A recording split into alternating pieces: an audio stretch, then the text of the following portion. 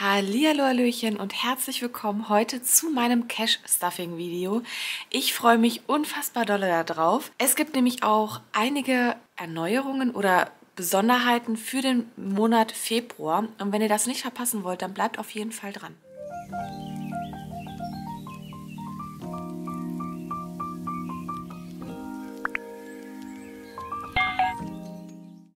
Ich hoffe, euch gefällt mein Setup ein bisschen. Ich habe mal wieder ein bisschen was dekoriert. Das habe ich ja letztes Jahr vor allen Dingen ganz besonders gemacht. Beispielsweise zur Weihnachtszeit oder auch zu Halloween. Und diesmal habe ich so ein bisschen, ja, alles angepasst an Valentinstag und an mein Budget. Und ich würde sagen, wir fangen dann auch direkt mal an. Vielleicht werde ich das eine oder andere nachher auch wegpacken, weil das einfach meiner Meinung nach ein bisschen stören kann. Beziehungsweise ich packe das jetzt schon mal weg. Weil ich ganz genau weiß, dass das mich nachher stören wird. An dieser Stelle möchte ich einmal ein ganz, ganz großes Dankeschön an Denise sagen. Und zwar habe ich von ihr ein kleines Paket bekommen mit wunderschönen Washi-Tapes. Auch noch dieser schönen ähm, Kerze hier. Deswegen mache ich die diesen Monat oder ich versuche sie immer in jedem Video anzumachen. Die ist wirklich wunderschön, riesengroß, schwarz und ich liebe Kerzen. Und da waren noch viele andere schöne Sachen, Stifte dabei und so weiter. Ich blende euch hier mal gerne ein Bild ein. Und das hat sie mir netterweise zugeschickt und da habe ich mich wirklich wahnsinnig dolle drüber gefreut. Vielen, vielen lieben Dank an dich, Denise. Dann würde ich sagen, beginnen wir dann direkt mal mit den ganzen Einnahmen, Ausgaben und so weiter. Alles, was was ich geplant habe für diesen Monat. Das Video wird, denke ich, ein bisschen später online gehen, weil ich noch viele Videos habe, die davor online gehen. Wie der Monatsabschluss, den solltet ihr jetzt auch schon gesehen haben. Mein Gehalt diesen Monat sind 2320 Euro und 61 Cent. Sonstige Einnahmen habe ich ja bisher noch nicht. Das kommt dann immer im Laufe des Monats, sind da die, die Umfragen beispielsweise. Und dann trage ich einmal ein meine ganzen Fixkosten. Die haben sich zum letzten Monat nicht verändert. Das sind meine fixen Kosten und ich habe tatsächlich wieder vergessen, ich habe ja seit letzten Monat noch die Rechtsschutzversicherung.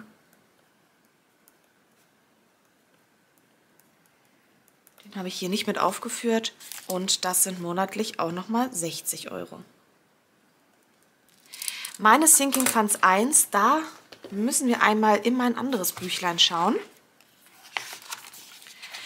Und zwar werden das im Februar sein 67 Euro und 86 Cent. Und das Ganze werde ich einfach mal aufrunden auf 70 Euro. Und die, die zusätzlichen 3 Euro oder 2 Euro, ja, 2,10 Euro werde ich einfach in einen ähm, Sinking Fund packen und dann ist der Topf einfach schon schneller voll. Dann rechnen wir jetzt einmal aus, was ich jetzt hier alles an Ausgaben quasi habe. Somit sind das insgesamt Fixkosten derzeit von 924 Euro. Das trage ich hier auch nochmal ein. Und dann gucken wir mal, ob ich Sinking Funds 1 in diesem Monat habe. Ähm, war ja nicht mehr in dem Büchlein, Moment. Und zwar schaue ich da einmal hier. Im Januar hatte ich, ups, im Januar hatte ich meine Autoversicherung. Dann geht jetzt, glaube ich, ab die GEZ. Da muss ich noch mal ganz genau gucken. Doch, genau, die geht ab. Das tragen wir dann nämlich auch einmal noch hier ein. Ich spare ja monatlich die GEZ an von 18,36 Euro. So, ich habe jetzt hier erstmal noch die ganzen Daten eingefügt, denn das ist eigentlich, klar, hier steht jetzt Februar drauf, aber den ähm, gibt es auch in meinem Shop individuell für jeden Monat anpassbar und somit habe ich hier keine Zahlen reingeschrieben. Den für den Monat Februar findet ihr unten einmal kostenlos, den könnt ihr euch kostenlos downloaden. Generell alle meine Vorlagen, die ich verwende, habe ich selbst erstellt und findet ihr alle in meinem Etsy-Shop, beziehungsweise den hier halt kostenlos. Einmal verlinke ich euch den auch unter dieses Video. So, dann schauen wir einfach mal. Im Februar, genau, war ja die, die GEZ. Da ich jetzt nicht ganz genau weiß, wann die abgeht, schreiben wir die einfach mal an den ersten. Damit ich mir, also eigentlich jetzt sofort dann, ähm, das Geld von meiner Ingdiba, von meinem Extrakonto, dann wieder auf mein ähm, normales Girokonto überweise, damit dann, wenn der Betrag von 85, nee, 55 Euro abgeht, das Geld auf meinem Konto drauf ist. Dann gucken wir mal. Ich glaube, das war alles, weil ich habe das nämlich sortiert. März, September. Genau, und November. Somit haben wir auch hier einmal das eingetragen. Ich habe mir jetzt endlich, ich habe mich immer ein bisschen geweigert, sag ich mal, weil ich so viele Textmarker habe, mir diese radierbaren Textmarker zu kaufen. Die ähm, habe ich jetzt aber bei der lieben Vicky gesehen, die benutzt die unter anderem auch. Und da dachte ich mir, nee, ich brauche die jetzt unbedingt. Deswegen ja, habe ich die jetzt auch endlich mal geholt. Die kann man wegradieren, ähm, genauso wie diese Stifte hier. Und äh, das verlinke ich euch natürlich alles unten in der Infobox, damit ihr da nachschauen könnt, falls ihr da auch Interesse dran habt. Die finde ich mich wirklich richtig, richtig schön, weil die so pastellig sind. So, dann kommen wir endlich zum Cash Stuffing. Und zwar hole ich euch für das Cash Stuffing wieder raus, damit ihr hier immer die Umschläge seht. Wir fangen an mit den Lebensmitteln und da kommt jetzt die Besonderheit. Und zwar haben mein Freund und ich, beziehungsweise ich und mein Freund, macht jetzt aber mit, weil er das auch ganz cool findet, überlegt, dass wir diesen Monat nur 50 Euro in die Lebensmittel packen. Und zwar möchten wir gerne einen Monat lang, und da passt sich der 28 passt sich der Februar eigentlich perfekt, weil es nur 28 Tage sind und dann vielleicht ein bisschen einfacher ist, auch wenn es nur drei Tage sind oder zwei Tage weniger. Trotzdem haben wir uns jetzt den Februar dafür ausgesucht und zwar wollen wir vorrangig versuchen, über Foodsharing kostenlos Essen zu bekommen. Hier in meiner Umgebung gibt es tatsächlich nicht viele, die da mitmachen, aber es gibt einen und da bin ich jetzt ähm, diesen Monat Stammkunde. Ich hoffe, dass er wirklich jeden, jede Woche was rettet, sodass dann auch was für mich übrig bleibt. Da haben wir jetzt schon einmal etwas geholt bei ihm. Und zwar ist das so, die bekommen die Lebensmittel von Bäckern oder von Supermärkten, manchmal sehr, sehr großer Menge, manchmal weniger großen Mengen, Gemüse, Obst, Milchprodukte, also ganz, ganz unterschiedlich. Das sind die Produkte, die beispielsweise abgelaufen sind und im Supermarkt nicht mehr verkauft werden können und dann im Müll landen würden. Oder halt Obst, welches nicht der Norm entspricht, krumm ist oder vielleicht schon ein bisschen in so einer, mm, in so einer Apfelverpackung ein Apfel schimmelig ist oder sowas. Aber trotzdem kann man ja die fünf anderen dann noch essen, aber verkaufen geht dann halt nicht mehr. Und das wird halt gerettet und dann ähm, wird das bei Foodsharing hochgeladen von den Personen und dann kann man sich da melden und dann halt hinfahren hinfahren und sich das Essen abholen. Und da haben wir schon mal eine Tüte gerettet sozusagen. Man geht da mit seiner eigenen Tüte hin, holt sich das dann ab und ja, das ist halt komplett kostenlos. Ich blende euch hier mal ein Bild ein, was wir da schon alles haben retten können und darum oder da herum basteln wir uns unsere Menüplanung für die kommende Woche. Und dann habe ich auch noch ganz, ganz viel Reste im Kühlschrank, die unbedingt weg müssen. Und deswegen wird das mal wirklich eine sehr, sehr herausfordernde Challenge. Aber ich finde es eigentlich ganz cool und ich bin gespannt. Ihr könnt ja gerne sagen, ob ich euch da so ein bisschen auf dem Laufenden halten soll, was wir so gegessen haben, was wir retten konnten, dass ich euch nicht nur erzähle, was ich halt ausgegeben habe, sondern auch noch mal so ein bisschen mehr darauf eingehe. Rest habe ich ja eh nicht bei den Lebensmitteln. Packen wir diesen Monat hier nur 50 Euro rein. Man hätte natürlich sagen können, wir packen da trotzdem 150 rein, für den Fall der Fälle, dass wir mehr Geld ausgeben. Aber ich habe, also habe ich auch tatsächlich erst überlegt. Aber ich möchte das nicht, weil ich glaube, dann würde ich eher verführt werden, da vielleicht etwas auszugeben, wenn ich da mehr Geld drin habe. Und so weiß ich, ich habe eigentlich wirklich nur 50 Euro dafür eingeplant. Aber ihr werdet nachher auch sehen, ich lasse mir immer einen Puffer jetzt am, ähm, noch übrig. Also ich verplane nicht meine 2300 Euro, sondern lasse mir ein bisschen Puffer übrig. Und sollte es dazu kommen, dass wir doch mehr Geld ausgeben, dann habe ich immer noch den Puffer oder könnte mich an anderen Kategorien bedienen. Ja, ich bin gespannt, was ihr zu dieser Challenge sagt. Bei Restaurant auswärts essen möchte ich ebenfalls nicht so viel dazu tun. Der Rest waren 5 Euro. Den habe ich noch vom Vormonat. Und dazulegen möchte ich gerne nochmal 50 Euro, sodass wir auf 55 Euro kommen. Und somit für Lebensmittel, ja, 100 Euro haben. Ne? Also wir gehen natürlich vielleicht auch ein, zwei Mal auswärts essen. Da wollen wir uns jetzt erstmal nicht reduzieren. Also schon reduzieren und weniger als sonst auf jeden Fall weil sonst habe ich ja hier immer mindestens 100 Euro drin. Trotzdem wollen wir dafür Geld einplanen, weil ja auch zum Beispiel Valentinstag ist. Und vielleicht gehen wir da einfach schön essen. Bei den Nägeln, hier ist immer noch die falsche Reihenfolge, das stört mich total. Das mache ich erstmal raus. Bei den Nägeln sind noch 35 Euro drin. Und ich packe wieder 35 Euro dazu, sodass wir jetzt wieder auf die 70 Euro kommen weil ich auf jeden Fall jetzt Anfang des Monats meine Nägel machen lassen muss und dann kann ich mir vorstellen, dass es vielleicht am Ende des Monats auch wieder soweit ist. Somit müssten jetzt hier 70 Euro drin sein. 20, 40, 50, 60, 65 und dann hier dann nochmal die 70. Die Sinking Fund Tracker werde ich dann im Anschluss ähm, ohne euch ausfüllen, weil es sonst tatsächlich, denke ich mal, zu lang wird, das Video. Dann kommen wir zur Drogerie. Hier hatte ich ja nichts, da war ich ja letzten Monat tatsächlich im Minus. Und da wollte ich reinpacken 30 Euro.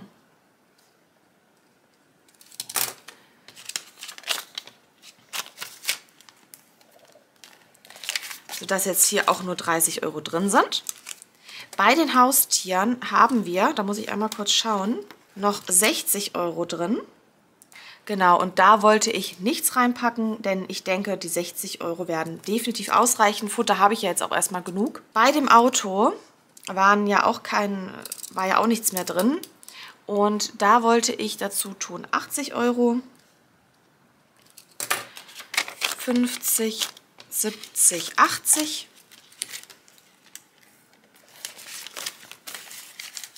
Bei der Freizeit waren drin 135 Euro. Und hier werde ich reinpacken 15 Euro, sodass wir hier auf 150 kommen. 10, 15. Jetzt müssen wir die Freizeit hier reinmachen.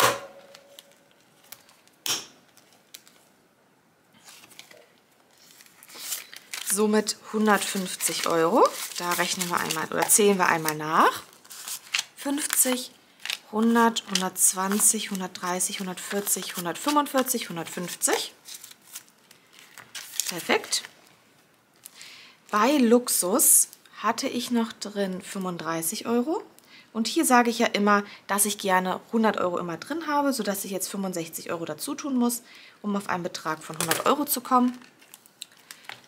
50, 60, 65. Ups, habe ich einen Zehner zu viel.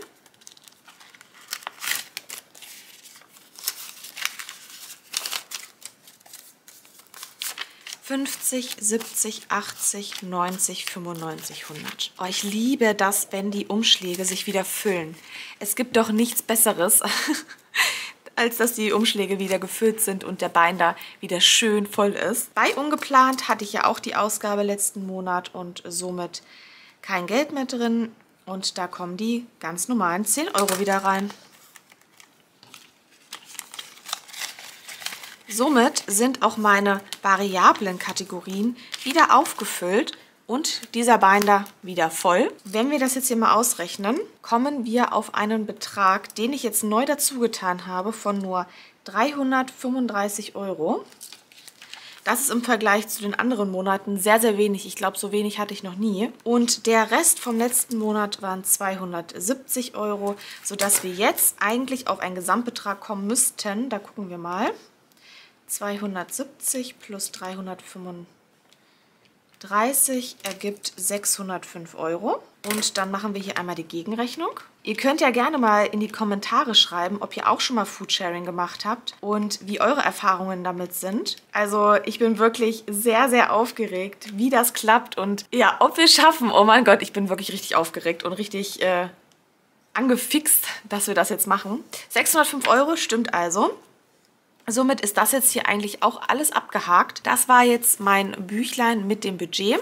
Ach, Moment. Wir müssen natürlich erstmal gucken, wie viel haben wir denn jetzt noch für die Sinking Funds übrig. Und zwar sind das ja, oder habe ich ja 2.320 Euro und 61 Cent minus die Fixkosten und dann das, was ich jetzt neu dazu getan habe.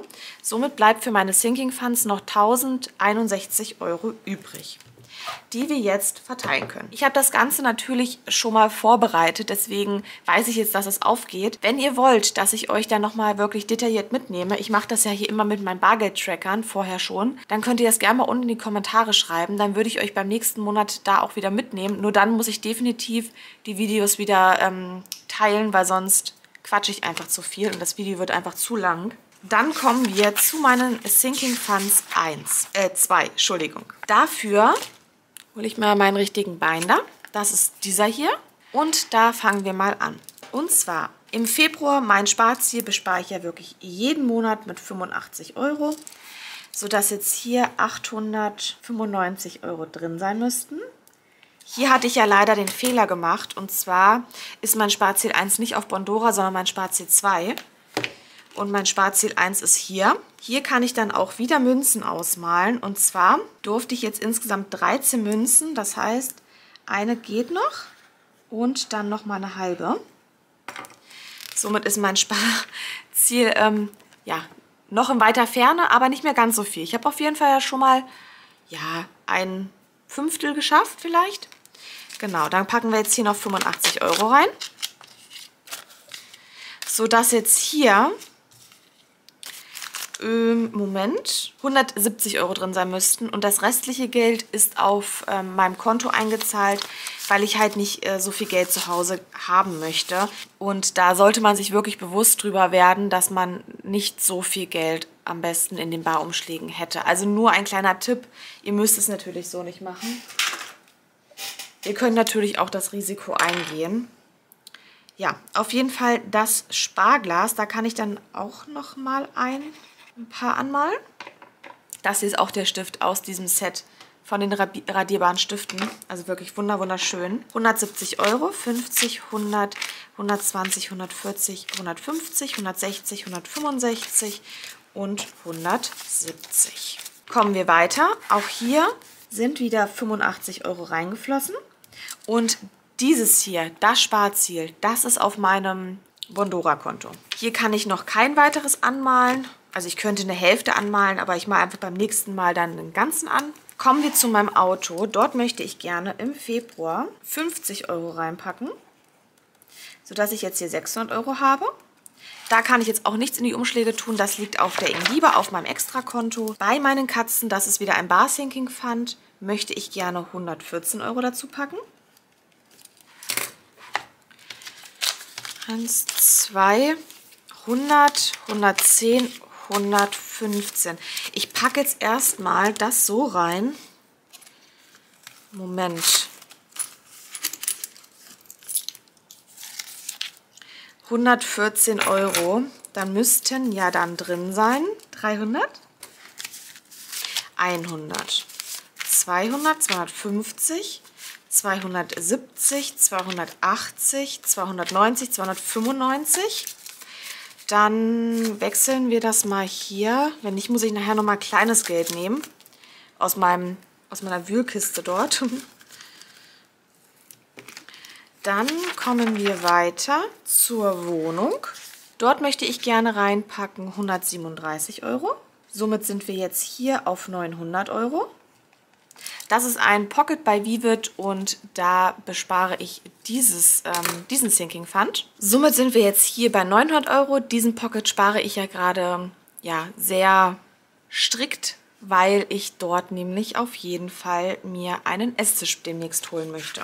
Oder im nächsten halben Jahr so. Bei den Geschenken, das ist ja auch wieder ein Bar Sinking Fund, möchte ich gerne 70 Euro dazu tun sodass wir jetzt hier auf 400 Euro kommen.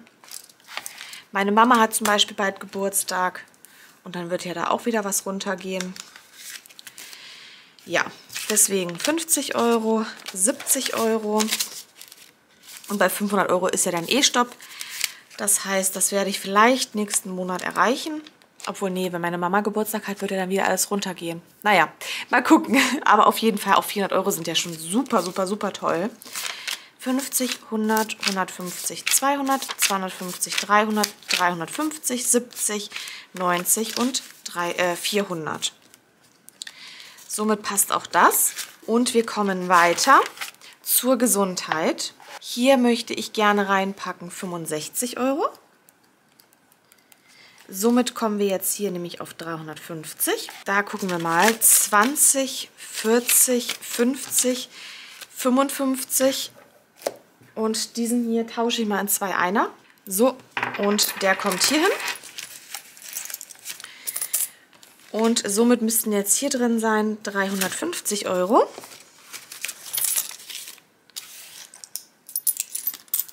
Fünfzig, hundert, hundertfünfzig, zweihundert, eins, zwei, drei, vier, fünf, dreihundert, zehn, zwanzig, dreißig, 40. Habe ich jetzt einen Fünfer zu wenig da reingepackt? Gut, dann muss ich nochmal einen Fünfer holen. Einen kleinen Moment. So, dann haben wir jetzt hier noch den Fünfer.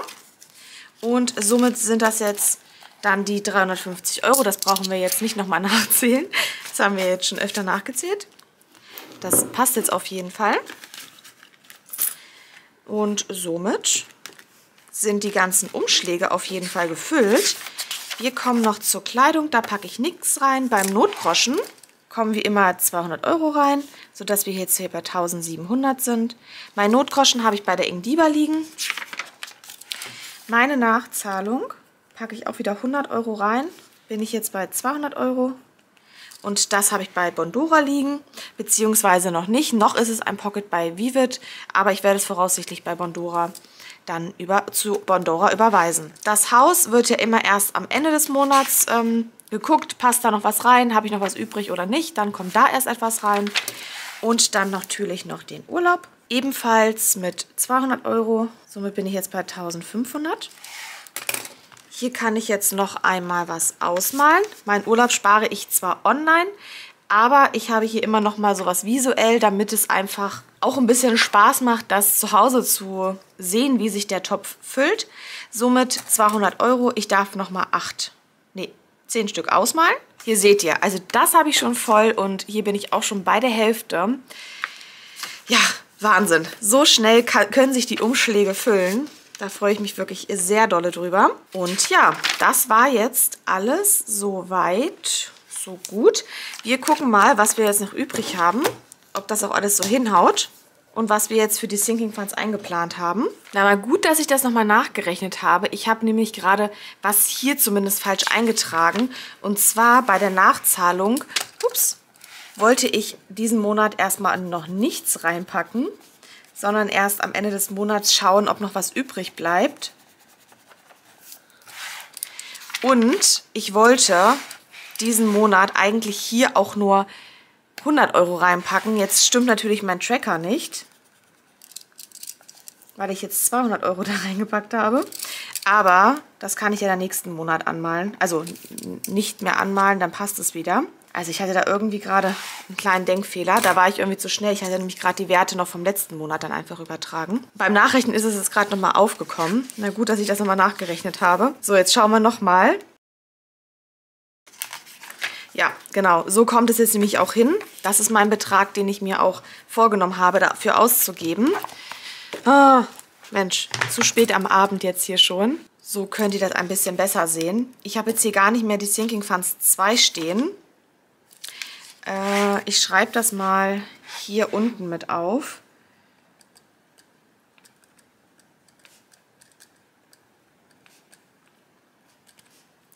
Habe ich 906 Euro. Das heißt, ich hatte ja davor noch 1061 Euro. Somit habe ich jetzt noch 155 Euro als Puffer übrig auf meinem Konto. Und damit kann ich dann unter anderem meine Spar-Challenges ein bisschen bedienen. Und ja, das war jetzt mein Cash-Stuffing für den Monat Februar. Ich bin gespannt, vor allen Dingen bin ich gespannt, was ihr zu der Aktion bei den Lebensmitteln sagt. Da bin ich sehr, sehr gespannt drauf. Lasst mir also gerne einen Kommentar dazu unten da. Und ich würde sagen, wir sehen uns dann beim nächsten Video. Bis dahin, meine Lieben. Habt einen schönen Tag. Bis dahin. Tschüss.